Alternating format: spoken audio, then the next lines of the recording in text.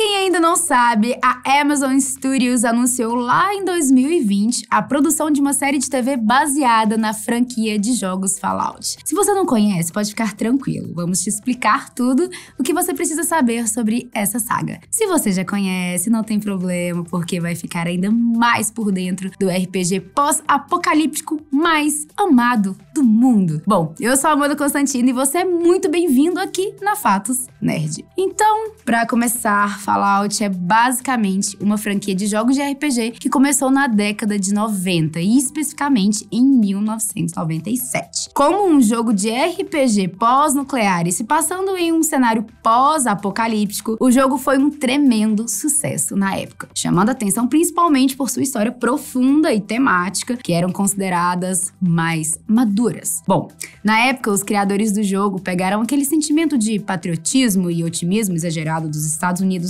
durante os anos 40 e jogaram uma bomba em cima, literalmente. Mas como assim?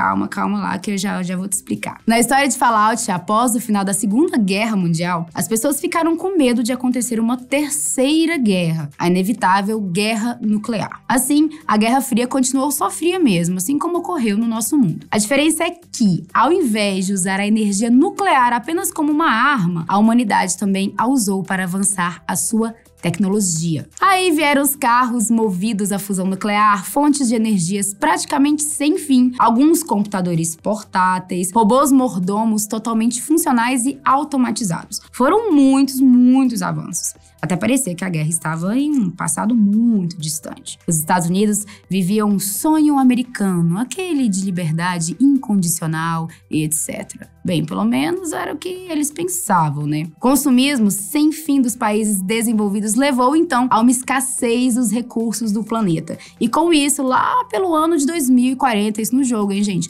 O mundo entrou em guerra mais uma vez, a temida Terceira Guerra Mundial, aquela que seria a guerra nuclear. Essa guerra acabou devastando o planeta e dos escombros desse apocalipse nuclear surgiu uma nova humanidade que luta para sobreviver nesse novo mundo. A palavra Fallout se refere à poeira nuclear que fica depois de uma poderosa explosão nuclear. Essa que eu acabei de falar.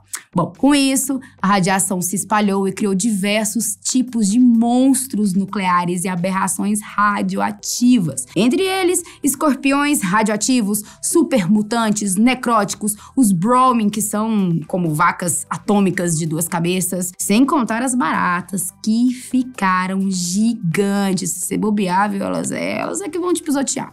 Bom, mas ainda assim, algumas pessoas conseguiram prever que a guerra nuclear poderia acontecer. O pessoal da Voltec, então, criou uma série de abrigos antibomba e começou a vendê-los por aí. Esses abrigos foram espalhados pelos Estados Unidos e muitas pessoas até conseguiram se proteger das explosões. Contudo, eles mal sabiam que não podiam mesmo era se proteger da própria Valtech.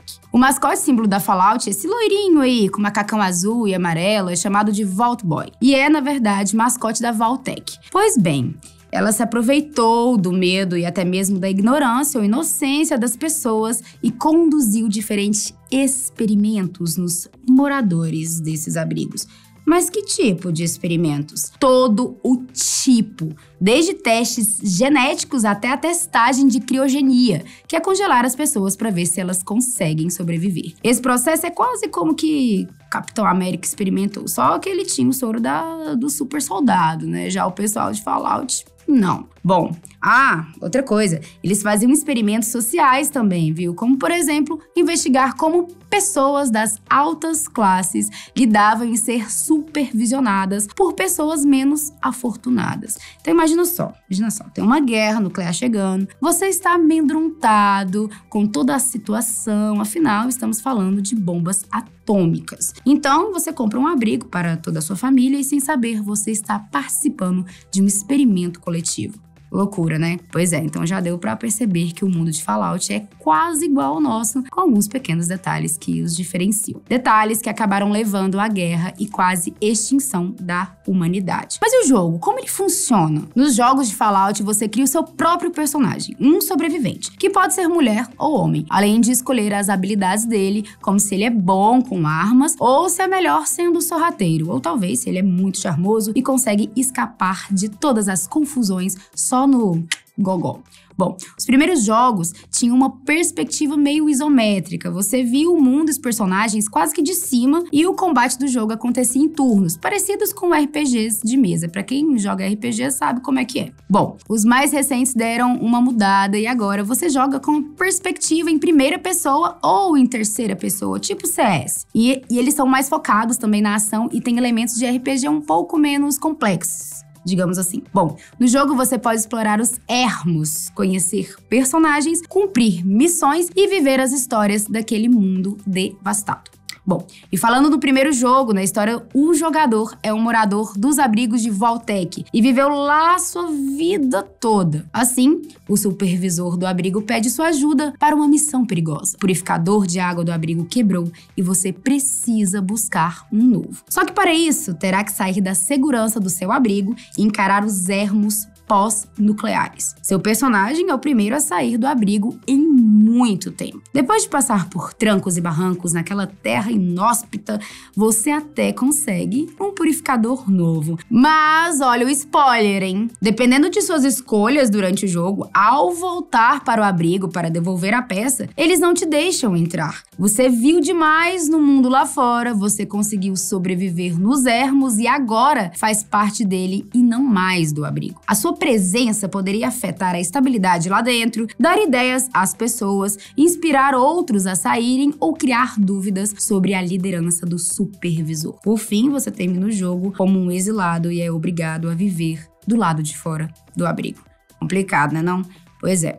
Um fato bem interessante sobre Fallout é que, mesmo se passando em um futuro alternativo, ele tem uma estética bem retrô, inspirada nas artes, na moda e na cultura dos Estados Unidos durante os anos 50. Se você explorar os jogos, mesmo que seja o ano de 2077, você dificilmente encontrará uma TV a cores, por exemplo. Por quê? Bom, outra diferença entre o mundo real e o de Fallout é que o transistor nunca foi inventado. Bom, transistores basicamente são dispositivos semicondutores que serviram de base para muitas das tecnologias do mundo moderno. E sem eles, e depois da guerra em Fallout, a tecnologia ficou meio parada no tempo, saca? Em contraste, ao mesmo tempo em que eles têm robôs domésticos, suas TVs ainda são de tubo e quase tudo é acionado por válvulas. Bom, e falando em tecnologia de Fallout, uma das coisas mais marcantes na saga, além do Vault Boy, é a armadura potente, ou Power Armor, que está presente em todos os jogos. Essas armaduras foram muito utilizadas durante a Grande Guerra e foram cruciais na batalha. Mesmo depois, ainda é possível encontrar partes dela por aí, algumas, inclusive, ainda funcionam. Essas armaduras potentes estampam todas as capas dos jogos de Fallout, exceto de Fallout New Vegas.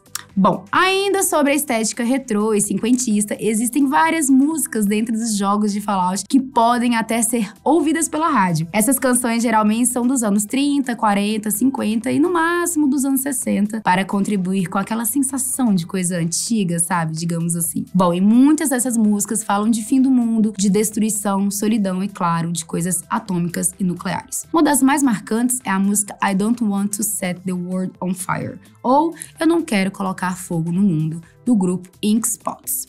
Bom, Fallout originalmente pertencia à Interplay, que produziu os dois primeiros jogos. Contudo, a empresa passou por problemas financeiros e acabou vendendo os direitos dos jogos. Desde então, a Bethesda é quem faz os jogos de Fallout. A mesma empresa é responsável por fazer os jogos de outra saga de RPG muito famosa, a série The Elder Scrolls, sendo Skyrim, eu amo, um dos jogos mais populares dos últimos anos. Amo esse jogo, gente. Como eu havia dito no começo, a Amazon Studios está produzindo uma série baseada no universo de Fallout. Ela é responsável por sucessos como The Boys, Invincible, A Roda do Tempo e também está produzindo uma série de Senhor dos Anéis. Os responsáveis pela série são Lisa Joy e Jonathan Nolan, que não por acaso são os criadores de Westworld, outra série de ficção científica de sucesso da HBO. Então é isso, tomara que você tenha aprendido muito sobre Fallout, explosões nucleares, robôs mordomos e baratas gigantes. Uh. Bom, e também já deu para perceber que a Amazon tem muito material para contar uma história boa, né não? Pois é. Então já deixa seu joinha, ativa o sininho, compartilha com os amigos para dar aquela força pro canal e ó, cuidado com a energia nuclear por aí, hein? Até o próximo vídeo. Tchau. Yay!